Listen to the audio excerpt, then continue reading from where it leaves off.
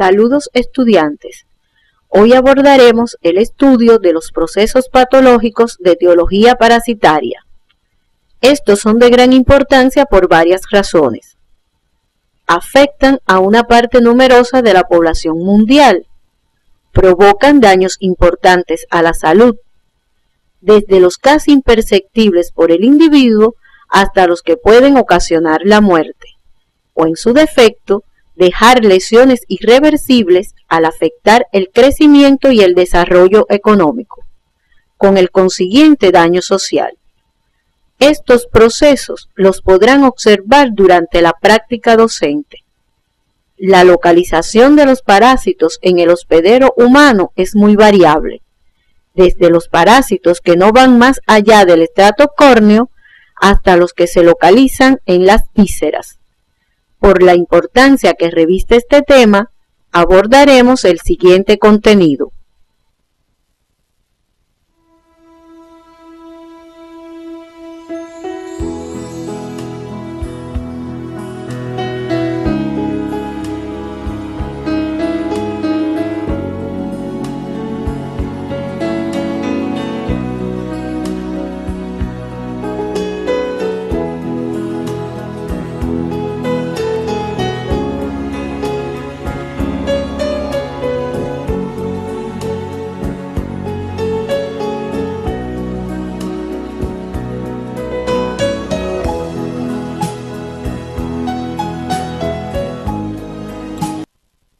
El estudio de estos contenidos les permitirá identificar a los parásitos causantes de procesos patológicos adquiridos según las características estructurales que los distinguen, enumerar los mecanismos de producción de la lesión celular provocada por la acción patógena de los parásitos, caracterizar las principales etapas que conforman sus ciclos biológicos enumerar los mecanismos de transmisión y las características generales de los principales artrópodos de importancia médica que actúan como vectores transmisores de enfermedades en la comunidad. Antes de abordar el estudio de este tema, es necesario conocer la definición de parásito. Observen los elementos claves que les permitirán expresar con sus palabras el concepto es un ser vivo, vive en el interior o exterior de otro organismo más complejo y potente que él, del cual se nutre y le produce o no lesiones.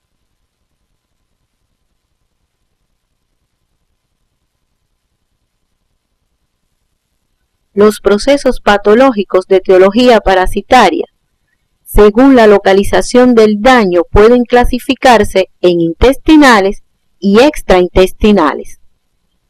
Y de acuerdo a los detalles morfológicos de los agentes responsables, estos procesos pueden ser provocados por protozoos o por helmintos. Teniendo en cuenta la dinámica de transmisión de los agentes responsables de los procesos patológicos, didácticamente los clasificamos en transmitidos por fecalismo, transfusiones de sangre, vías transplacentaria, respiratoria y sexual, contacto directo con las mucosas, a través del suelo, la ingestión de carne cruda o mal cocida y de vegetales contaminados, y de los artrópodos como vectores transmisores para estudiar los procesos patológicos de etiología parasitaria, deben revisar las siguientes definiciones. Estas les facilitarán la mejor comprensión del tema. Utilicen la bibliografía básica y complementaria.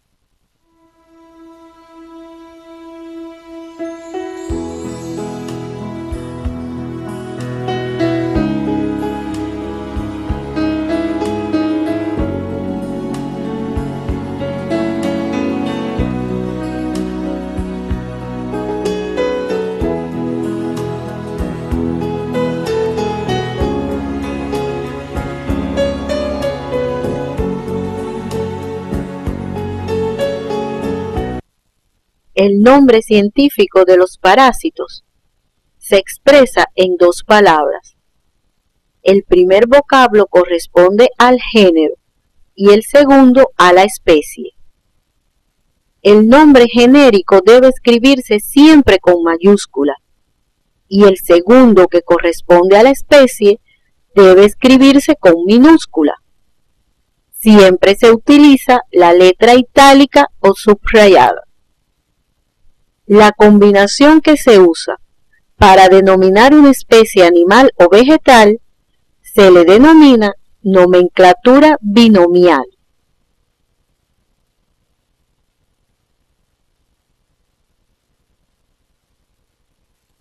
Todos los seres vivos están clasificados taxonómicamente en reino, filum, clase, orden, familia, género y especie. En algunos casos se clasifican además en subreinos, subfilum y subclases. Existen distintas formas de clasificar a los parásitos de importancia médica. Utilizaremos las clasificaciones atendiendo a los detalles morfológicos y según su localización en el hospedero. Atendiendo a los detalles morfológicos, se clasifican en protozoos y helmintos. Los helmintos a su vez se clasifican en nematelmintos y platelmintos, estos últimos en cestodos y trematodos.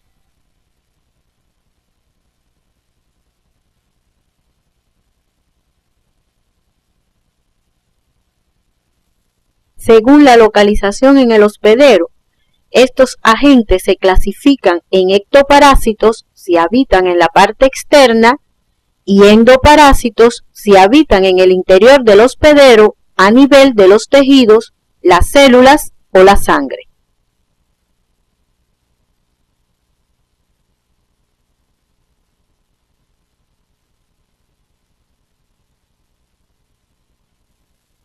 Deben hacer énfasis en otras clasificaciones a partir de los seis criterios. Según la exigencia a la vida parasitaria, de acuerdo a su grado de parasitismo, según la capacidad o no de producir enfermedad en el hombre y según las anormalidades de localización. Para revisar este contenido, Consulten el libro de texto Microbiología y Parasitología Médica. Recuerden que la patogenicidad de un agente está en relación con la capacidad de producir o no enfermedad. Por esta razón existen parásitos patógenos y no patógenos.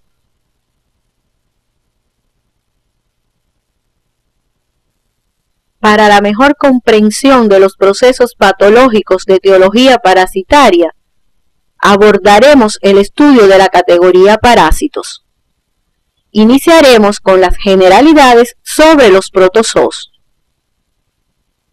Los protozoos son unicelulares y eucariotas.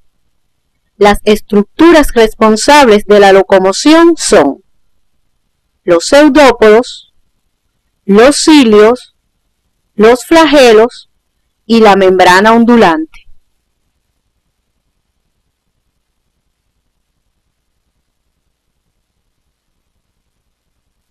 Los protozoos presentan en su mayoría dos fases bien diferenciadas entre sí, la quística y la de trofozoito.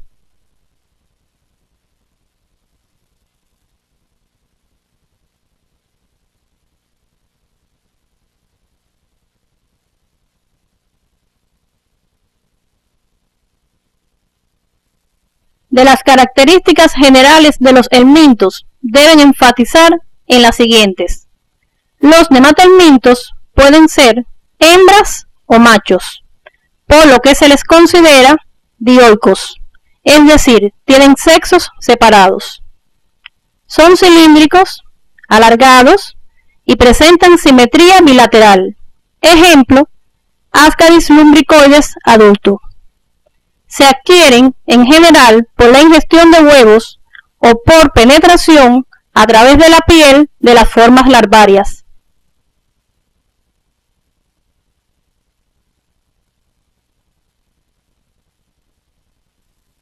Los estodos, como la generalidad de los platelmintos, son hermafroditas, por lo que son considerados, a diferencia de los nematelmintos, monoicos. Atraviesan por la fase de huevos que dan origen a larvas. El parásito adulto está formado por unidades conocidas como proglótidos. En la parte anterior del cuerpo se encuentra el escoles a manera de cabeza, órgano que contiene las estructuras de fijación. Los trematodos son aplanados en la región dorso-ventral y tienen forma foliácea, como las hojas de los vegetales. Están cubiertos por tegumento y son hermafroditas, con excepción del género Chistosoma. Los trematodos atraviesan por varias fases larvarias como son miracidios, esporoquistes, redias, cercarias, entre otras, hasta alcanzar la fase adulta. Para revisar los aspectos claves sobre la morfología de los parásitos, utilicen la galería de imágenes de agentes biológicos y el manual ilustrado en soporte electrónico sobre parasitología médica. Con el empleo de la clasificación de los parásitos según su localización en el hospedero que aparece en el libro Microbiología y Parasitología Médicas, deben confeccionar un cuadro que resuma los detalles morfológicos que distinguen a los parásitos más frecuentes que afectan al hombre en su comunidad. Al ejemplo que le sugerimos, pueden incluirle otros aspectos de la taxonomía que les faciliten consolidar estos conocimientos. El conocimiento de los ciclos evolutivos de los parásitos es necesario para realizar un adecuado diagnóstico, prevención y tratamiento de las enfermedades parasitarias. Les recomendamos consultar el epígrafe Ciclo evolutivo que aparece en el libro Microbiología y Parasitología Médicas, para resumir los aspectos más importantes de los ciclos de vida de los protozoos y los helmintos. Los ciclos de vida o evolutivos pueden ser directos e indirectos, en dependencia de la existencia o no de hospederos intermediarios. Para estudiarlos, deben enfatizar en aspectos claves como puerta de entrada, localización definitiva en el hospedero, puerta de salida, hospedero definitivo, hospederos intermediarios en los que tienen ciclo indirecto y estadio infectante, estadio diagnóstico y mecanismos de transmisión.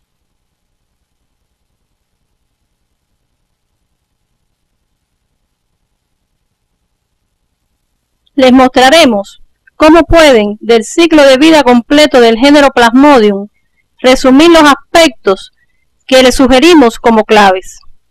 Como observarán, este es uno de los ciclos más complejos de los protozoos. Las etapas principales del ciclo evolutivo del Plasmodium, agente responsable del paludismo, son puerta de entrada, localización definitiva en el hospedero,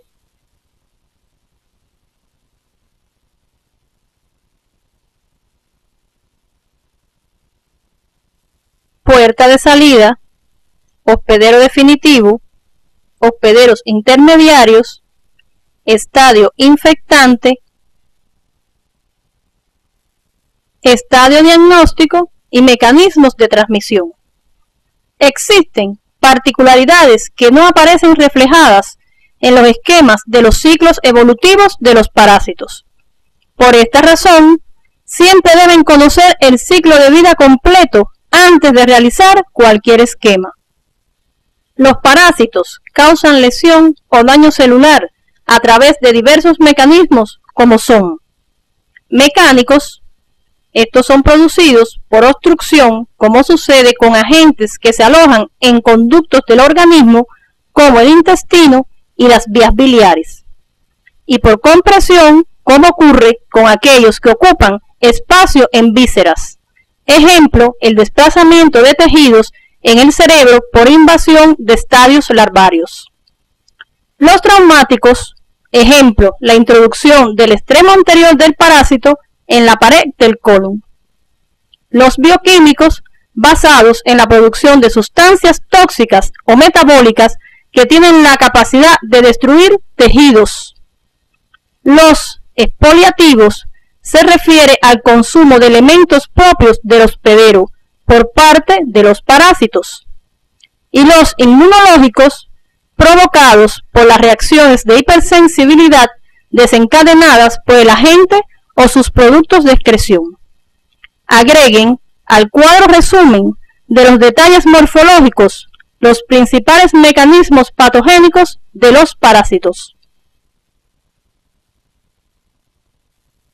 Los artrópodos en general se caracterizan por poseer simetría bilateral, ser segmentados, tener exoesqueleto y presentar patas segmentadas articuladas. Además, son transmisores de agentes biológicos que ocasionan enfermedad. Son causantes directos de procesos patológicos.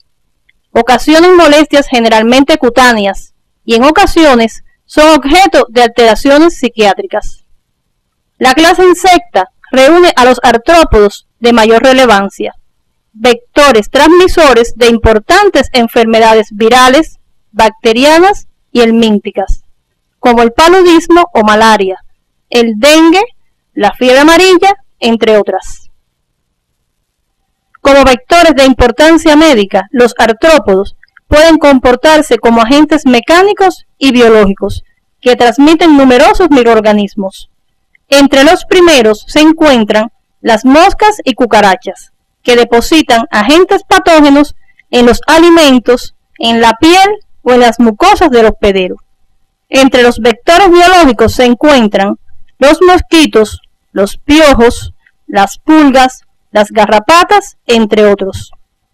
Revisen en el libro de texto los detalles morfológicos de las principales clases de los artrópodos de importancia médica e investiguen en la comunidad ejemplos de enfermedades frecuentes transmitidas por ellos.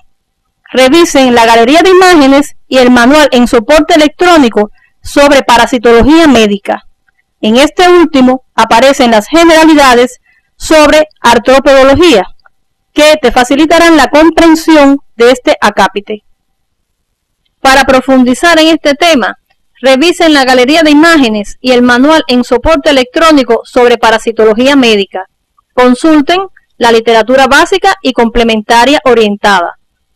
Deben confeccionar, según les sugerimos, cuadros resúmenes haciendo énfasis en las características morfológicas y en los mecanismos de patogenicidad de los parásitos más frecuentes en su comunidad. Una vez analizada la categoría responsable de los procesos patológicos de etiología parasitaria, concluimos con los aspectos más importantes estudiados en este tema. Para identificar a los parásitos es necesario tener en cuenta las principales características que distinguen a cada grupo según la clasificación morfológica.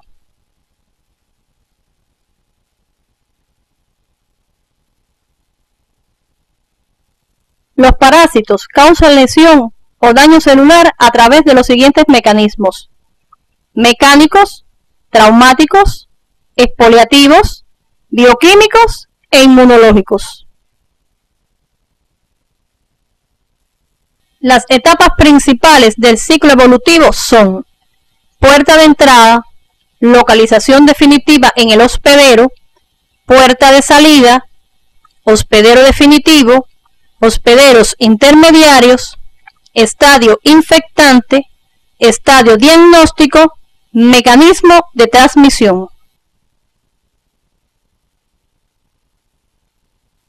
Los mecanismos de transmisión de los agentes responsables de los procesos patológicos de etiología parasitaria son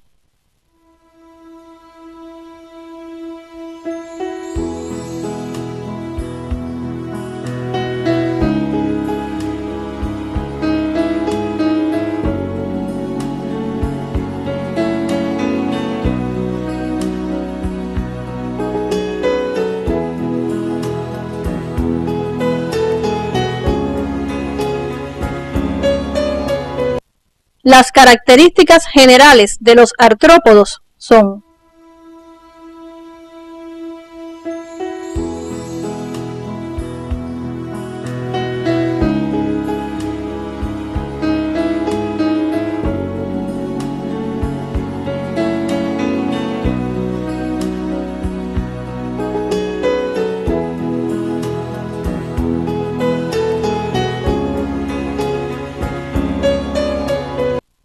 Las micosis superficiales, cutáneas, subcutáneas y sistémicas o profundas son el resultado de la acción patógena de los hongos. Entre las micosis superficiales más frecuentes que afectan a la comunidad están las onicomicosis. En la próxima actividad orientadora iniciaremos el estudio de los hongos como categoría de los agentes infecciosos responsables de estos procesos patológicos.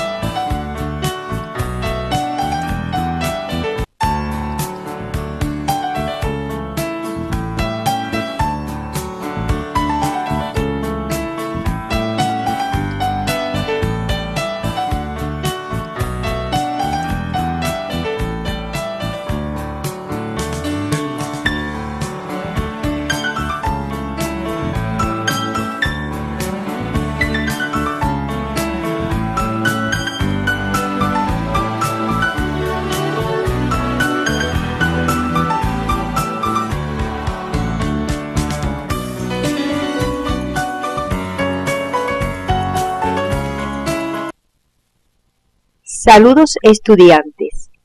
El estudio de la categoría hongos se inicia en 1677, cuando Hooke observó que las manchas amarillas en las hojas de una rosa estaban constituidas por organismos filamentosos. Posteriormente, Micheli describió en 1729 el género Aspergillus a partir de la mitad del siglo XIX se realizan avances en el estudio de esta categoría de agentes infecciosos. Actualmente existen entre 50.000 y 100.000 especies de hongos. De ellas, solo una pequeña parte pueden causar enfermedades en los humanos.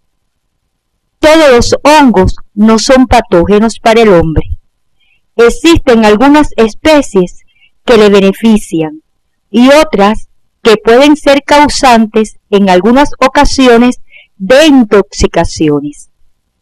Por la importancia que revisten los hongos patógenos, hoy iniciamos su estudio.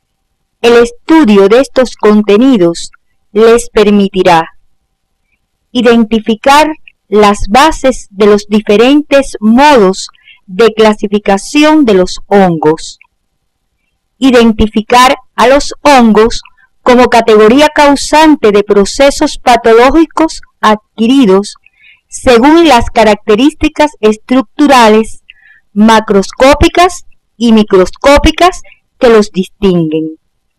Mencionar los mecanismos de producción de la lesión celular provocados por la acción patógena de los hongos como categorías. Enumerar los principales mecanismos de transmisión de los hongos como categorías de los agentes infecciosos. Los procesos patológicos infecciosos de origen fúngico son el resultado de la lesión o alteración morfofuncional de los tejidos provocados por estos agentes. Los hongos son organismos que pueden comportarse como patógenos para el hombre. Para estudiar su morfología, deben recordar que son células eucarióticas. Ninguno es anaerobio estricto y la pared, la cual constituye el 90% del peso seco del microorganismo, le brinda rigidez y es un elemento clave en la taxonomía. La mayoría no poseen cápsulas. Estos elementos lo distinguen de otras categorías de agentes.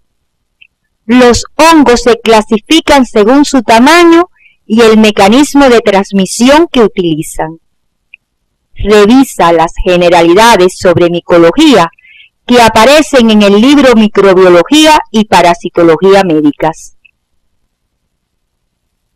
Al igual que los parásitos, el nombre científico de los hongos se expresa en dos palabras. El primer vocablo corresponde al género y el segundo a la especie. El nombre genérico debe escribirse siempre con mayúscula y la especie debe escribirse con minúscula. Siempre se utiliza la letra itálica o subrayada. Los hongos, causantes de procesos patológicos, son reconocidos en el laboratorio según su morfología microscópica y macroscópica.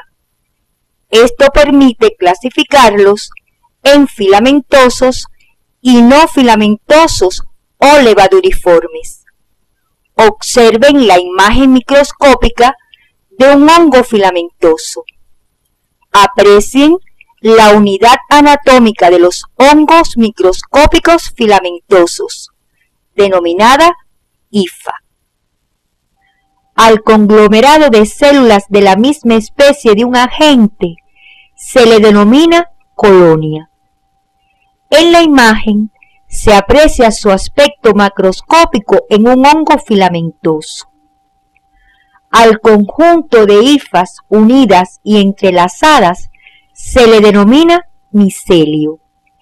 Este puede ser aéreo o reproductivo, el cual crece en la superficie del medio de cultivo donde podemos encontrar las conidias o esporas. Y vegetativo o nutritivo, aquel que se introduce en el medio de cultivo para absorber los nutrientes. En el micelio aéreo se desarrolla la colonia del hongo, que de acuerdo con el género de especie a que pertenezca, va a tener diferentes formas y colores. Así pueden ser algodonosas, pulverulentas, cerebriformes, crateriformes, entre otras, y pigmentadas de rojo, carmelita, violeta, verde, amarillo y otros. Observen las células aisladas o en ramificaciones de un hongo levaduriforme.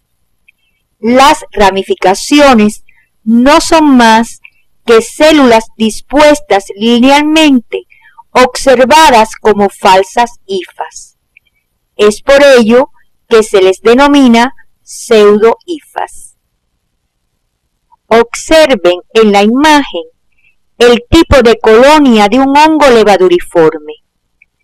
Estas son colonias suaves, cremosas, pueden presentar diferentes coloraciones como blancas, negras, cremas, café, entre otras. Otro criterio importante en la clasificación de estos agentes patógenos es el mecanismo de transmisión. Estos se transmiten por contacto directo, penetración a través de la piel, de las vías respiratorias y por cateterismo y autoinfección.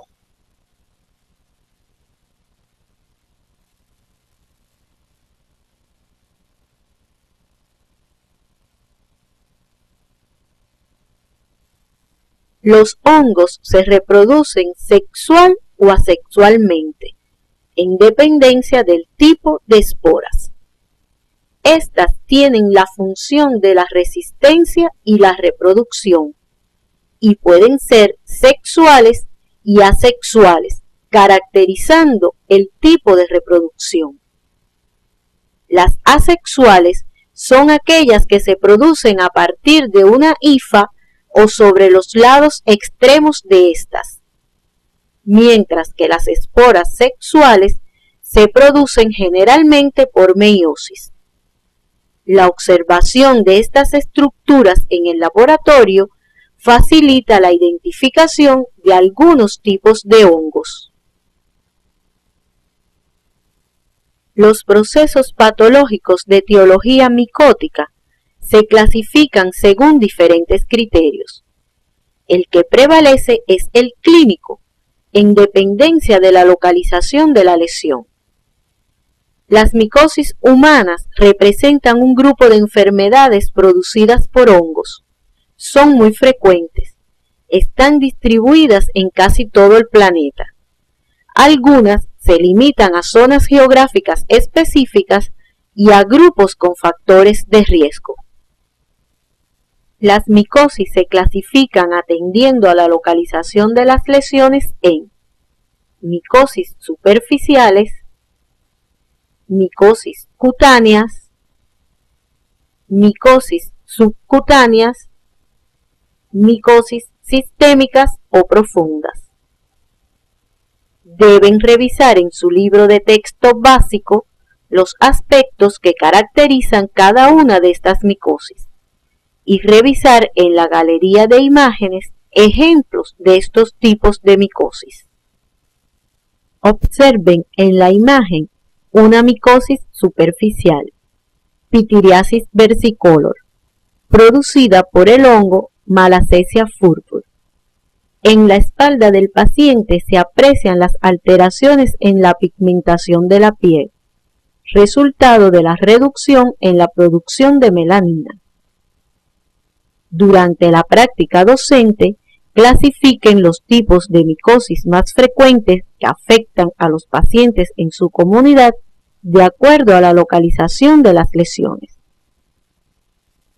Los hongos patógenos se caracterizan por ser invasivos, virulentos, no producir toxinas, poseer las enzimas necesarias para obtener nutrientes directamente del hospedero y provocar enfermedades crónicas con lesiones de tipo granulomatoso.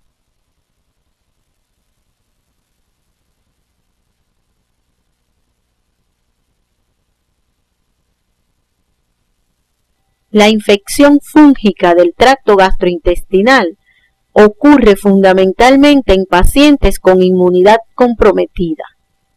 La especie cándida que es parte de la microbiota intestinal normal, muestra predilección por el epitelio escamoso estratificado, produciendo candidiasis oral, esofagitis membranosa y puede diseminarse al resto del tracto gastrointestinal y a otros órganos sistémicos.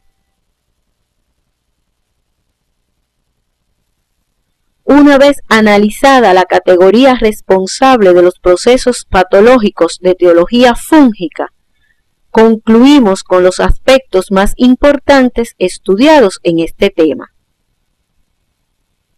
Los hongos causantes de procesos patológicos son reconocidos en el laboratorio según su morfología macroscópica y microscópica, permitiendo clasificarlos en filamentosos y no filamentosos o levaduriformes.